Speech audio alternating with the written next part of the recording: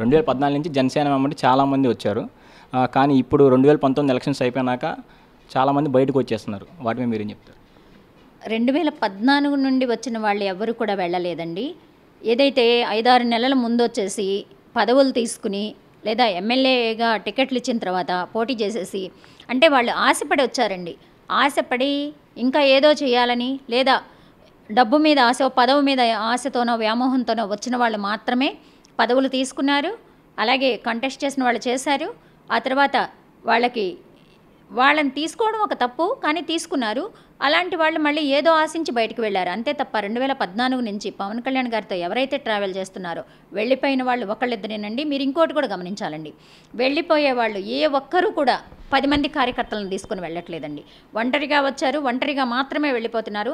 అలా వెళ్ళిపోయిన వాళ్ళు ఇంకా వెళ్ళిపోతే కూడా చాలా బెటర్ అండి. ఎందుకంటే అసలు ఎవరైనది నిజాయితీగా ఉండేవాళ్ళు నిబద్ధతతో పనిచేస్తున్న వాళ్ళు పవన్ కళ్యాణ్ గారి దృష్టికి కూడా వెళ్తారండి. పవన్ కళ్యాణ్ ఓడిపోయిన గాజువాకలో ఉన్న ఓటర్ల కన్నా ఓట్లు ఎక్కువ నమోదైనాయి. ఈ విషయం సోషల్ మీడియాలో హల్చల్ చేసింది. దాని మీద మీ కమెంట్ మన పవన్ కళ్యాణ్ గారే దీని గురించి ఎందుకు అంటే ఆయన ఎందుకు చెప్పలేదంటే అది ఆయన యొక్క గొప్పతనము విజ్ఞత అండి. ఓట్లు ఎక్కువ నమోదవడమే కాదండి. అసలు ఓట్లు వేసిన వాళ్ళందరూ మేము వేస్తున్నాము ఓటు అది మేము వేసిన ఓటు బీజేపీకో లేకపోతే మా కళ్ళ ముందే వైసీపీకో కనపడుతుంది అని చెప్పిన వాళ్ళు కూడా వందల సంఖ్యలో ఉన్నారండి. ఇంకా అలాంటప్పుడు అది పవన్ కళ్యాణ్ గారు కూడా ఏమన్నారు?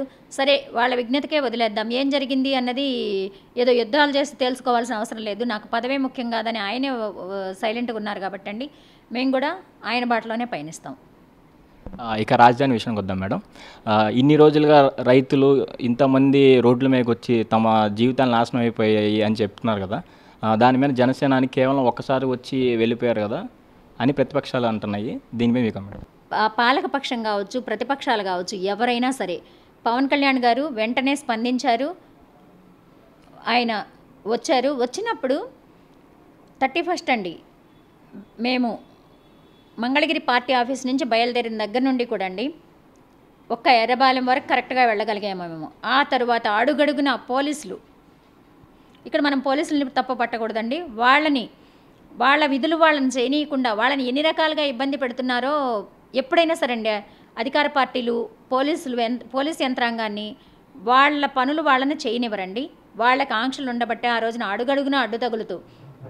కనీసం కాలిబాటను వెళతామంటే కూడా వెళ్ళనివ్వకుండా బారికేడ్లు కట్టారు. సరే బారికేడ్లు దాటుకుని వెళ్తుంటే ముళ్ళ కంచెలు వేశారు ముళ్ళ కంచెలు దాటుకుని పొలాల్లోకి పరిగెత్తి చివరికి రైతుల దాకా చేరగలిగారండి పవన్ కళ్యాణ్ గారు. అలా చేరి ఆయన అక్కడ జరుగుతున్న ప్రతిదీ కూడా తెలుసుకుని వాళ్ళకి భరోసా కల్పించి మేమున్నామని చెప్పి. ఎందుకంటే పవన్ కళ్యాణ్ గారు పదే పదే చెప్తుంది కూడా అదేనండి.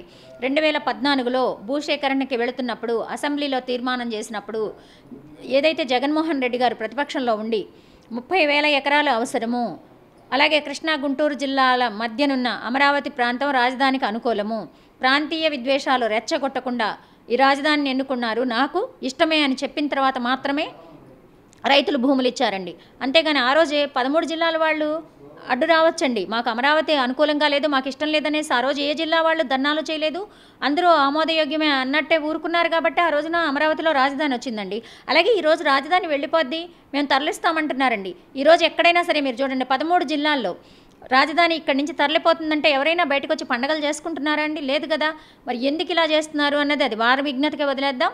అలాగే పవన్ కళ్యాణ్ గారు పదే పదే అంటే మీ దృష్టిలో రోజు రోడ్డు మీదకి వస్తే అంటే రోజు మీరు అడ్డుకుని పోలీస్ యంత్రాంగాన్ని టైంని డబ్బుని ప్రజా ధనాన్ని ఇంకా వ్యర్థం చేస్తారా? అంటే రోజు వచ్చేస్తే మీకు ఇదొక పనిలాగా మళ్ళీ ఈ మొత్తం ఏదైతే సమస్యలు ఉన్నాయో వీటన్నిటిని పక్కదారి పట్టించేసి పవన్ కళ్యాణ్ గారు లేదా పోలీసులు లేదా మీడియా ఇకంతా ఈ మూడు మూడు ముక్కలాట్లాగా ఈ చుట్టూ తిరుగుతూ మిగతా పాలనంతా స్తంభించిపోవాలా ఈ ఉద్దేశంతో మాత్రమే పవన్ కళ్యాణ్ గారు పదే పదే రోడ్ల మీదకి రారు Please watch Tulsi News. Please subscribe to Tulsi News.